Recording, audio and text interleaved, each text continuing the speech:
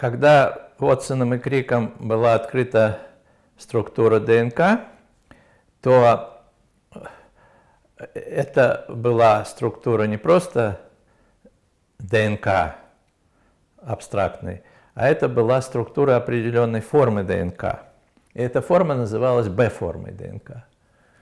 Потому что к тому времени э, Розалинда Франклин показала, что когда изучаются при помощи рентгеновского рассеяния э, волокна ДНК, то рентгенограмма радикальным образом зависит от того, э, при какой относительной влажности, при каком насыщении, степени насыщения э, водой этого волокна происходит эксперимент.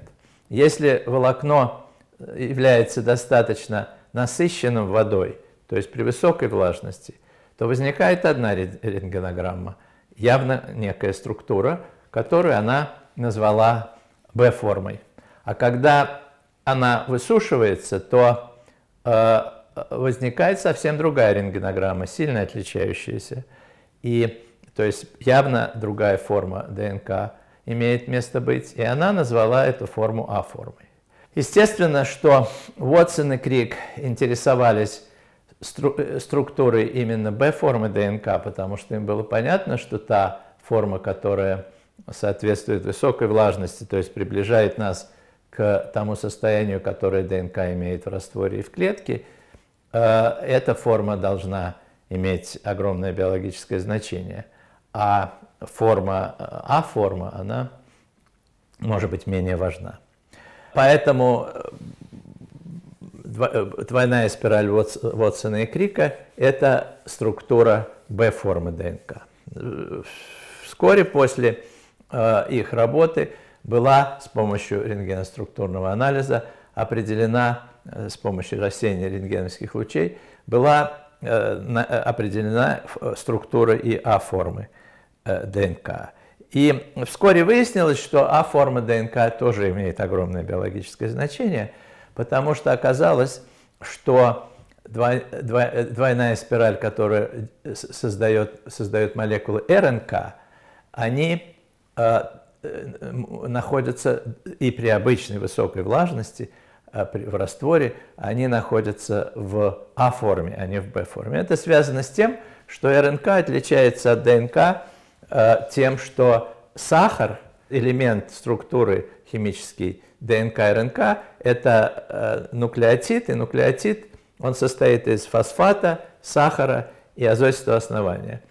Так вот, и в том и в другом случае – Сахар немножко разный. У ДНК он имеет э, в определенном положении просто водород, а у РНК э, э, гидроксильную группу OH.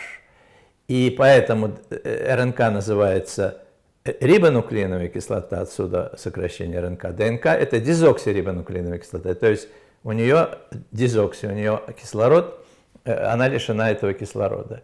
И это отличие в одном атоме ведет к очень серьезным отличиям в структуре, потому что из-за этого э, из этой гидроксильной группы РНК не может принимать Б-форму э, ни, ни, ни при каких условиях. Но А-форму она прекрасно принимает. Поэтому А-форма, первоначально открытая для ДНК, оказалась той формой, которую всегда имеет двойная, э, двойная спираль РНК. Это очень важно, потому что хотя двуспиральная РНК в живых клетках встречаются редко, хотя и встречаются, но даже если имеется однонитевая РНК, она образует очень сложную структуру в пространстве, в частности, у нее возникают шпильки, и э, удаленные участки образуют э, двой, короткие двойные спирали, и все эти структуры РНК находятся во форме. Спрашивается, хорошо, значит, у нас имеется Б-форма, имеется А-форма. Существуют ли еще другие э, формы ДНК? Естественно, этот вопрос имеет колоссальное значение, потому что все, что касается структуры ДНК, мы должны знать, поскольку это самая главная молекула живой природы. В течение э, конца 70-х, 80-х годах было, прошлого века было открыто несколько структур – наверное, больше структур не будет открыто, потому что с тех пор новых структур уже открыто не было. И, наверное, мы теперь уже знаем все возможные структуры ДНК. Их не так много. Первая, которая, была, которая произвела большой шум, структура была так называемая Z-форма. Ее открыл э, профессор э, э, Массачусетского технологического института а, Александр Рич с сотрудниками в 1979 году. К огромному изумлению самих авторов и потом всей научной и даже не научной общественности оказалось, что некоторые короткие ДНК с определенной последовательностью оснований, они изучали такую ЦГ, ЦГ, гексо, гексонуклеотид ЦГ, ЦГ, ЦГ, и, соответственно, он самокомплементарный, поэтому он образовал э, э, двойные спирали. И когда они изучили с помощью рентгеноструктурного анализа структуру этой маленького кусочка ДНК, оказалось, что это совершенно не то, что предсказывали Вотсон и Крик. Вотсон и Крик это была э, правая спираль, она имела вполне определенную закрутку э, э, правоспиральную, то есть вот такую, а это оказалась левая спираль, противоположная, э, у нее противоположная хиральность, как говорят. Э, это было полной неожиданностью и шоком. Но это оказалось абсолютно правдой. Оказалось, что действительно вот такие последовательности, э, чередующиеся С и Г, могут э, образовывать такие спирали в определенных условиях. И поэтому Z-форма стала одним из важнейших элементов э, структуры, структурных элементов ДНК, о которых все, кто занимается молекулярной биологией, должны знать. Какие еще структуры были открыты? Еще было выяснено, что все эти структуры необычные, о которых я говорю, вот начиная с Z-формы, те структуры А-форма а, а и Б-форма, мы называем их каноническими структурами. Их особенность состоит в том, что любая последовательность оснований может принять эту структуру. То есть, когда природа занимается э, э, каким-то дизайном новых белков или новых каких-то структур, которые нужно записать в виде э, последовательности ДНК, она не должна заботиться о том, чтобы эти последовательности э, удовлетворяли каким-то дополнительным условиям, э, которые позволяли бы образовать, скажем, Б-форму ДНК. Любые последовательности образуют Б-форму ДНК, любые последовательности образуют А-форму РНК. Они могут быть немножко э, отличаться по стабильности, но э, при нормальных условиях они все будут э, достаточно стабильны, и все будет нормально. Все структуры необычные, о которых мы говорим, они все ограничены какими-то специальными последовательностями. В случае Z-формы это вот типа последовательность, не обязательно точно такая, но типа CG, CG, CG. Вторая структура, послед... структура необычная, о которой я хочу рассказать, это так называемые крусиформы э, или кресты. То есть э, это последовательности, которые являются последовательными перевертышами или палиндромами. Они читаются одинаково слева направо и справа налево. То есть, с одной, если мы читаем по верхней цепи, последовательность должна быть тоже, той же, как мы читаем этот же участок по э, э, нижней цепи. Мы тоже знаем перевертыши в Э, языке, в русском языке э, известно очень много перевертышей. Я люблю, например, такой перевертыш. «Не гни папин ген». Это, читаете этот текст слева направо или справа налево, вы получите одно и то же, если вы, конечно, не, не обращаете внимания на э, э, промежутки между словами. «Не гни папин ген» справа налево будет то же самое. Вот такие последовательности в ДНК, они называются полиндромные последовательности, они способны образовывать кресты, то есть э, двойная спираль может преобразовываться в такие две шпильки, в крестообразную структуру.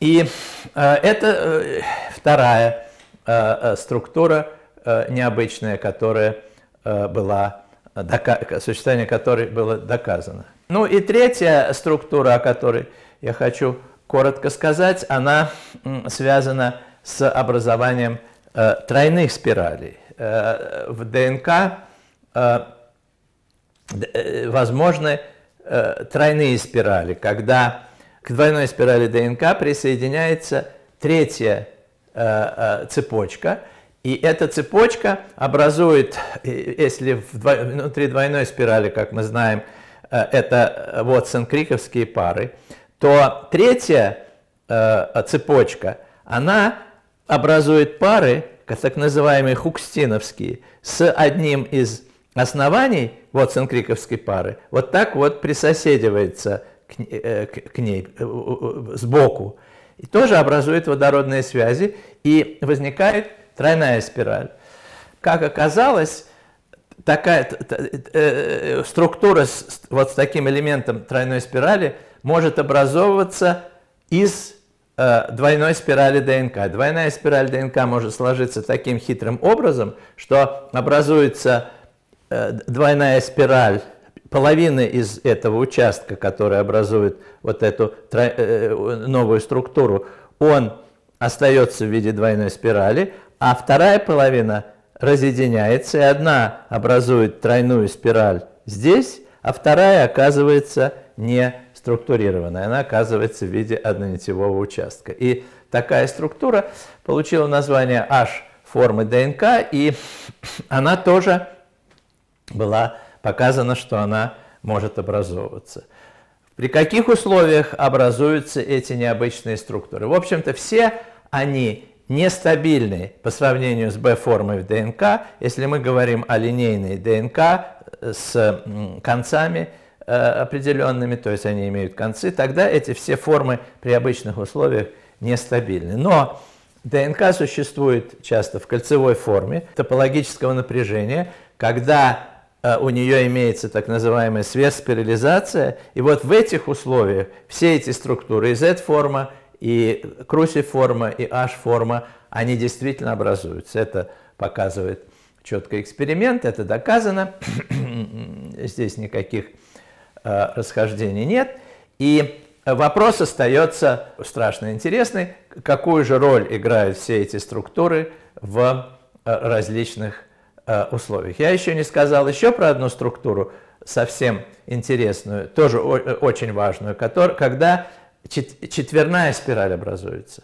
Но эта структура образуется только в случае, если имеются только гуанины. 4G, они образуют так называемый G квадруплекс. Это такой хоровод из четырех гуанинов. То есть вот, может быть, эти э, четыре структуры, Z-форма, э, э, крусиформа, H-форма и G-квадруплекс, они, в общем, исчерпывают основные, самые главные неканонические структуры ДНК. И вопрос, конечно, страшно интересный, какую они все играют, каждый из них играет роль и в норме, и в патологии, и как они используются в различных биотехнологических приложениях. Но это вопрос уже другой.